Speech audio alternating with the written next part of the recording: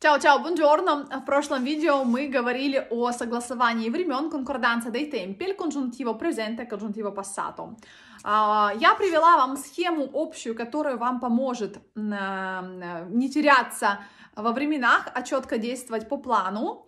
А, если главное предложение стоит у вас в настоящем времени, то э, у вас есть такие варианты развития событий. Если вы говорите про будущее, то вы используете либо futuro semplice, либо congiuntivo presente.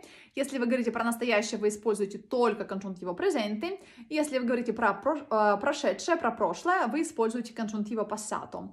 Ну, а схемы всегда остаются схемами, если их не применять к реальности. Поэтому а, для применения их к реальности я дала вам а, такое задание. Надеюсь, что вы все справились.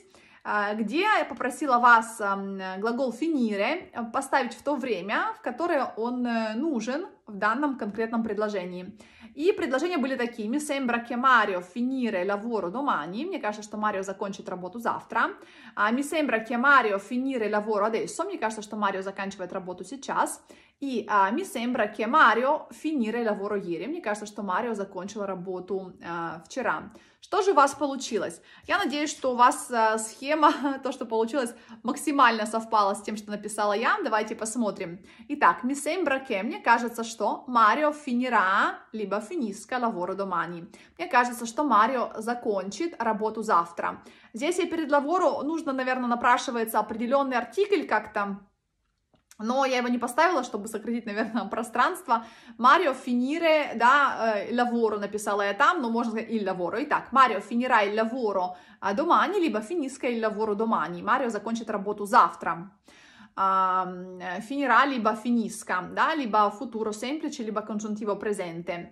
А, если мы говорим про настоящее время, здесь, смотрите, я написала еще старый плюс герунди, не будем забывать и об этом варианте.